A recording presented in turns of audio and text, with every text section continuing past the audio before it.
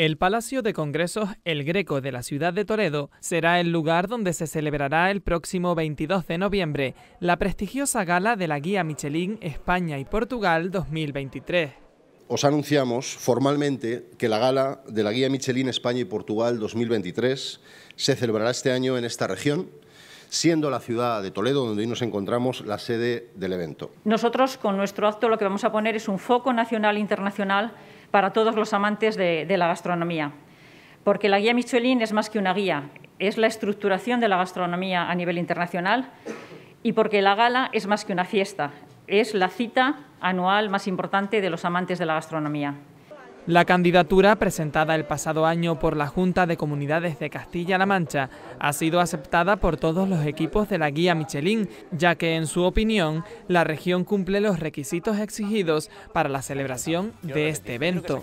Personalidad y nivel de su oferta gastronómica, vitalidad de las actividades de promoción de la restauración y de la hostelería, y una estrategia clara de hacer de la comunidad un destino turístico atractivo para el viajero tanto nacional como internacional. Toledo los cumple todo, pero yo quisiera resaltar el compromiso que habéis eh, demostrado desde la Consejería y la Dirección General para, promoción, para promocionar el turismo eh, y la gastronomía en vuestra región.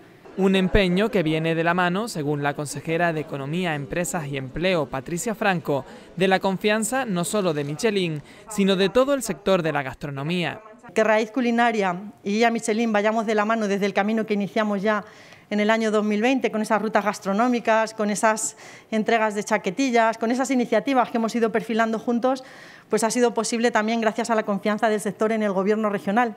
En momentos donde es muy difícil ganar la confianza de los sectores con la que está cayendo, pero el presidente y todo el equipo no vamos a cejar en el empeño. La consejera ha expuesto lo duro que ha sido conseguir que la gastronomía de Castilla-La Mancha esté en el punto de mira nacional e internacional, con la celebración de un evento como la Gala Michelin. Estamos viviendo momentos muy complejos y el hecho de que podamos seguir con la ilusión y con el compromiso en la región que iniciamos ese enero del 2020 con la puesta en marcha de nuestro Plan Regional de Gastronomía y nuestra nueva marca Raíz Culinaria, que atravesó las peores circunstancias posibles para lanzar un plan de gastronomía y una nueva marca, pero que con la confianza de todos vosotros, de todo el sector y el compromiso de todos juntos, pues yo creo que hemos conseguido hacerla valer y hacerla valer con la garantía de que es una marca que nos aglutina a todos, que nos engloba a todos y que hace una simbiosis eh, necesaria y perfecta con una marca de excelencia como es la guía Michelin.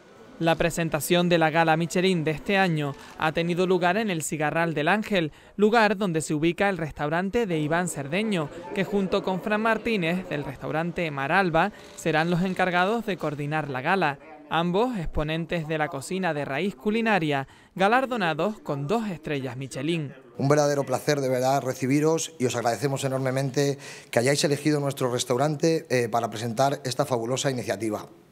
Muchas gracias también por la confianza que habéis depositado en, Fran y en mí para coordinar el evento gastronómico más importante del año en España y a nivel internacional. Para nosotros eh, es un orgullo es, eh, hacernos eh, responsables de este evento. Con iniciativas como estas, Castilla-La Mancha continúa apoyando su rica oferta gastronómica para que sea un pretexto más para conocer la región. El Gobierno de Castilla-La Mancha y el Ayuntamiento de Talavera de la Reina han alcanzado un acuerdo con el Ministerio de Transportes, Movilidad y Agenda Urbana para acometer el desdoblamiento de la antigua Nacional Quinta, lo que supondrá una inversión de 16 millones de euros. Un acuerdo que, en palabras del consejero de Fomento, Nacho Hernando, se ve enmarcado en todo ese gran plan para Talavera y, y toda su comarca, en la medida en la que no podemos seguir diciéndole a las empresas que vengan a Talavera, interesadas están, sin resolver eh, una dificultad como es la entrada natural de Talavera eh, a través de la Nacional Quinta.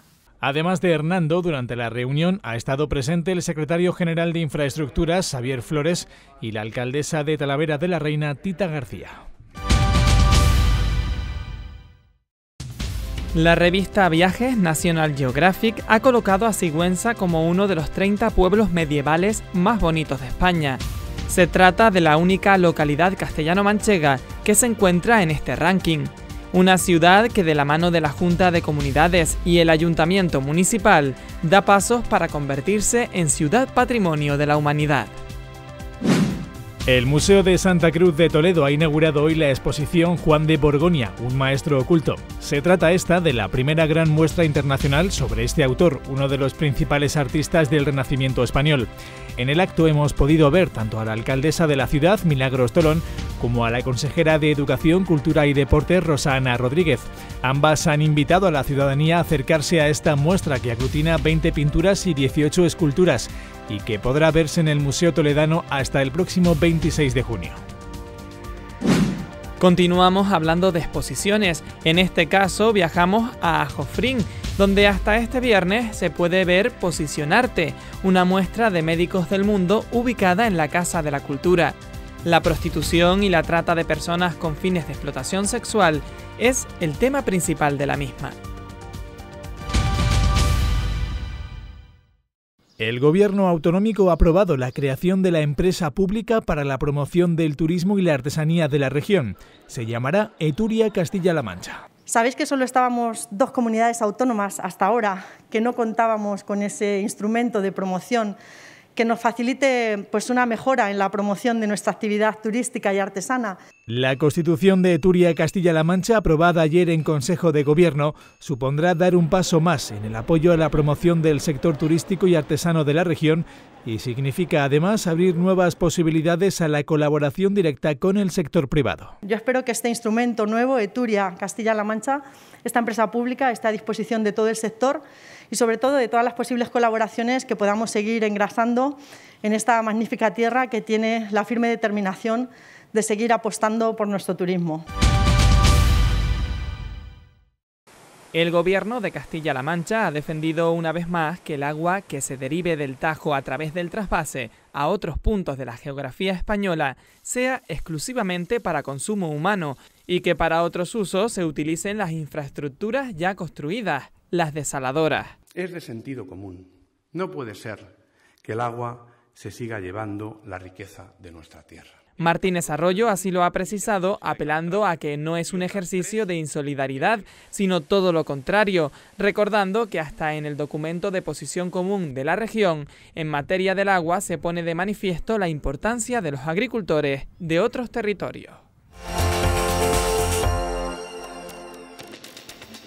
Los cielos permanecerán nubosos o cubiertos con probables brumas y nieblas en zonas de montaña de la mitad oriental, por nubosidad de retención y posibilidad de calima y polvo en suspensión.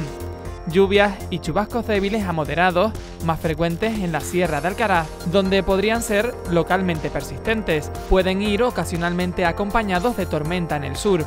Las precipitaciones podrían ir acompañadas de barro, Cota de nieve en las sierras del noreste entre 1300 y 1500 metros de madrugada, subiendo durante la mañana a 1800. El viento soplará de componente este con intervalos de fuertes y rachas muy fuertes en La Mancha y sierras de Alcaraz, tendiendo a aflojar a lo largo de la tarde.